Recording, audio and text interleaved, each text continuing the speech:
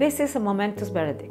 It is also a testament to the courage and perseverance of George Floyd's family and many others in calling for justice. I think this verdict suggests that it is possible to achieve human rights that apply to everybody equally. It is possible to see racial equity inside of our understanding and implementation of human rights.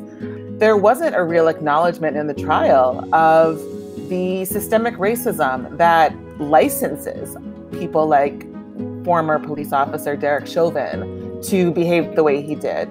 The battle to get cases of excessive force or killings by police before the courts, let alone win them, is far from over. This case has also helped reveal, perhaps more clearly than ever before, how much remains to be done to reverse the tide of systemic racism that permeates the life of people of African descent. What we're talking about when we ask um, for human rights to be centered, when we ask for anti racism to be centered, is this understanding that um, part of justice is accountability, part of justice is reparations. Part of justice is creating spaces where communities of people of African descent are able to access public goods and services and accommodations, including policing, without threat for their lives. And so I think for a lot of us, um, the relief we feel in this moment that the easiest decision in the world that that this was in fact murder has been made is also